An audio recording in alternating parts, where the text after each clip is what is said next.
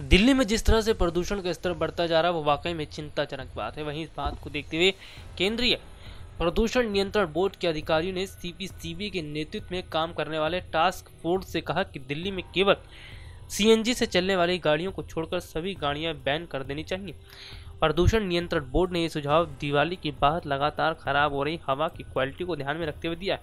हैरानी वाली बात तो है कि जिस तरह से दिल्ली में प्रदूषण बढ़ता जा रहा है, वो वाकई में हैरान करने वाली बात है। लेकिन गौर करने वाली बात तो ये भी है, जिस तरह से दिवाली के बाद भी प्रदूषण बढ़ता जा रहा है, इससे साफ़ हो गया है कि दिल्ली में जो प्रदूषण है, वो पटाखों की वजह से नहीं है। वहीं सबसे बड़ी बात तो ये भी है कि हरियाणा और पंजाब के किसान जिस तरह से लगातार पराली जला रहे हैं, उसका बुरा असर दिल्ली में देखने को मिला है।